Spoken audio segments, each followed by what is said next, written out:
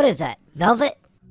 Today we'll be going into the fifth episode of the Star Wars Ahsoka Tano series. And with that, there are only four episodes left, and there's still a lot of questions to be answered.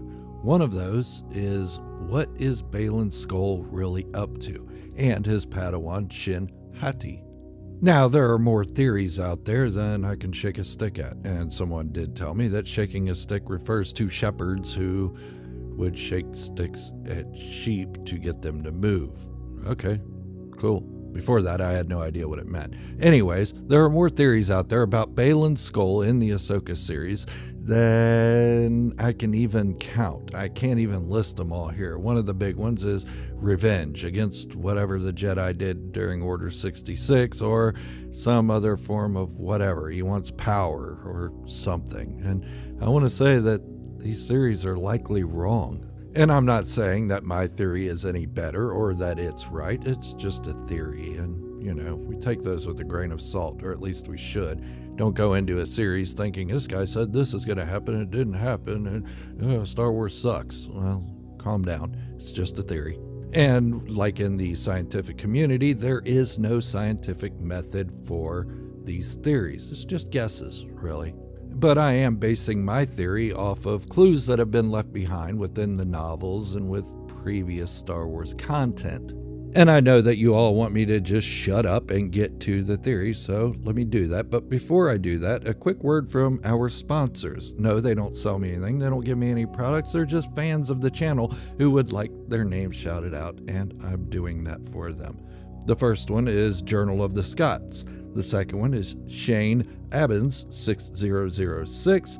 And the third one is Mike Martinez 1224. Thank you guys for what you do. I appreciate it.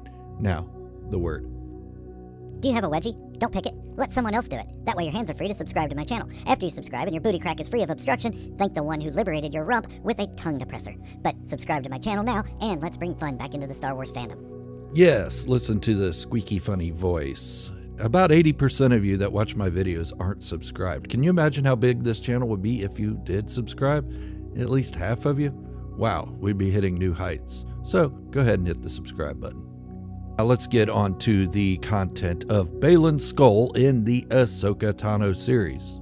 As I said in the beginning, there are a lot of theories going around about this guy, and there's some clues left behind that show that a lot of these theories may be wrong. I haven't watched all the theories, and God, that would be so hard to do. There's so many. Wow, I can't believe you're even watching this one. Well, thank you for doing so. Okay, before I get into the theory, let's just say this that there are clues within the Ahsoka series that bring me to a conclusion. One of those clues is how Baylan Skoll shows regret for how he is assigned to kill Ahsoka Tano. It's sad. She's one of the last remaining Jedi and he feels bad about this. So that tells me that revenge is not in his mindset, that he is not out for revenge against Jedi. Basically, he's been living a life he's been living for about, what, 29 years or so? And he hasn't been wearing Inquisitor armor, so he hasn't been hunting Jedi that we know of. Maybe he has on his own as a mercenary, but they haven't said anything about that. Maybe we'll get more into his story later. But Another big clue comes from the Thrawn novels, the six latest ones, starting with Thrawn, you know, and the Ascendancy trilogy and all that. And I don't think that Dave Filoni is going to retcon those novels. This time he's been working with Timothy Zahn to get the character of Thrawn right. And I think Baylan Skoll is a weapon to bring Thrawn back in order to fight the Grysk. And if you don't know who the Grysk are, they're marauders, a merry band of people who are going around the galaxy just causing torment, pillaging, raping. I don't know about raping, they didn't say anything about that. Maybe that's too harsh. But uh, definitely stealing fruit. I mean, scurvy is a bad thing, and that used to be one of the problems with pirates scurvy and other people on ships. Scurvy! Yeah, so scurvy's a bad thing, I hear. Never had it. But here it is. Anyway, so Baylan Skoll wants to bring Grand Admiral Thrawn back because he knows Thrawn knows how to fight the Grysk, and Thrawn has the military genius to outwit them. Now, the only clue that I see contrary to this is when Baylan Skoll tells Shin Hati that bringing back Thrawn means power. Okay, maybe that's just a red herring. Or maybe I'm way off and Baylan Skoll's just a two dimensional character who's just out to cause trauma. And with Ray Stevenson's passing, rest in peace, sir, then we don't know how far his character is going to go. It presumably he would have to end after this season, or maybe they got somebody else to play him, and I don't know who they could get that's as good as Ray Stevenson. The guy's a genius. But they would have to wrap up Baylan Skoll's entire story in these next four episodes, and maybe it'll just be a short little glimpse at why he does what he does, but I think we'll get to see that. And I think it, his motivations are to help stop the coming Grysk invasion. He knows about it somehow, probably through Morgan Elsbeth or some other means.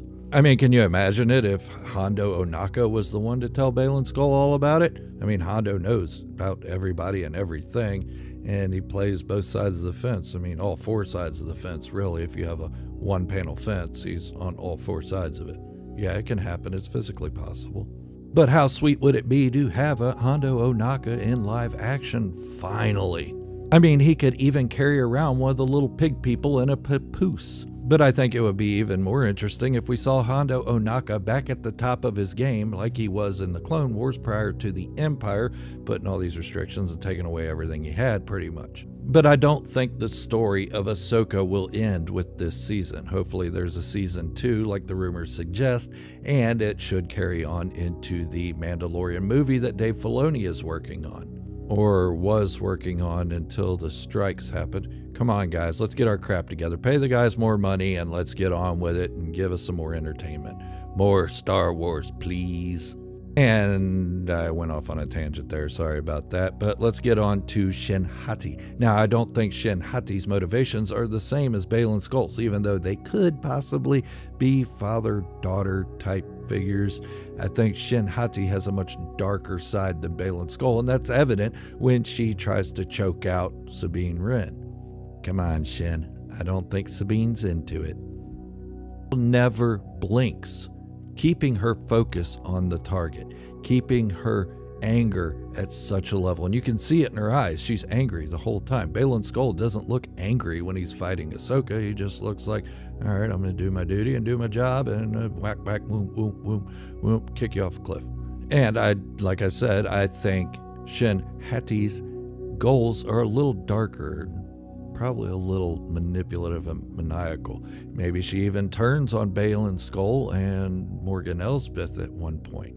I don't think she's in on the secret of why it's so important to bring Thrawn back, otherwise, she wouldn't have asked Baylan Skoll, why is this so important? Um, yeah, it kind of gives it away if the Grysk are the bigger threat, or getting rid of them is the greater good of the galaxy, then Ahsoka Tano has no idea they exist. Otherwise, she wouldn't have said they're trying to bring Thrawn back as heir to the Empire. That's not at all what's happening. Maybe he will lead the Empire, but it's not the sole motivation to take over the galaxy again. It's to gather those forces and fight the Grysk. And maybe even the Empire and the New Republic come together on that yeah, I don't know. There's still that whole question of the First Order being evil. But maybe they were just an offshoot of the Empire. Yes, they rose from the ashes of the Empire, as the one old guy in The Force Awakens said. I forget his name. God, why can't I remember his name? Lor San Tekka. That's it. Lor San Tekka said that. And like I said, maybe it's an offshoot. Maybe one of the commanders from the Empire days took a bit of his army out to the unknown regions and started forming the First Order without the other Imperial remnants. Eh, it's just theory's probably a stretch, too. I don't know. Doesn't seem like they're very unified, though. But there is no sign of Thrawn nor any other member of the Chiss Ascendancy in the First Order that we see. Now, who knows? I could make side stories about that, about how they were the ones to gather the forces, but I really don't think that's likely. Now, in the novels, we all know that Thrawn's first allegiance is to the Chiss Ascendancy and their protection, and he knows about this Grysk and how dangerous they are, so gathering more forces only seems right. And Baylan Skoll being a part of that in the Ahsoka series really makes sense. And if Baylan Skoll was a Jedi on the run during the Imperial days, he likely would have known who Thrawn was. Maybe not met him personally, but known of his accomplishments and achievements. There were only a few Grand Admirals in the Imperial military at the time, and Thrawn was the best there was. And if Baylan Skoll were still considered a Jedi at that time, he would have had fear of Thrawn because he knew of Thrawn's tactics and how well he was at sniffing out opposition and destroying it. So for Baylan Skoll to want to bring Thrawn back really means something. It really solidifies that there's more to it than what we're being led to believe. But then again, sometimes it's just straightforward and things just have a way of working out on their own without any kind of theory being plausible or even acceptable. So it could be that Baylan Skoll's just a bad guy who's upset about the fall of the Jedi Order and turned to the dark side just a little bit, just enough to make him a fallen Jedi. And now he's training Shin Hati in the ways of balancing the Force, and she's taking on more of the dark side. So maybe that's all there is to it. Could be. Probably is. But let me know your thoughts down in the comments below. I'd love to hear it, and I do read all the comments, even if I can't reply to every single one. I do read them all. You don't go uh, ignored, so keep the comments coming. Also, before I go, another quick word from our three sponsors of this video. Warning, do not force someone to pick your wedgie. Law of averages suggests that if you ask enough people, someone will do it willingly. Don't forget to use both your free hands to pound the subscribe button. Your booty will thank you for it. Until the next video, this is Gerald, a Star Wars fanatic, signing off, wishing you all great health, happiness, and peace. Thank you all for watching, and remember, this is the way. And positivity in the Star Wars community can be the only way. Except people who are jerks. There's just always going to be jerks. It's something we have to live with. So, hello, jerks.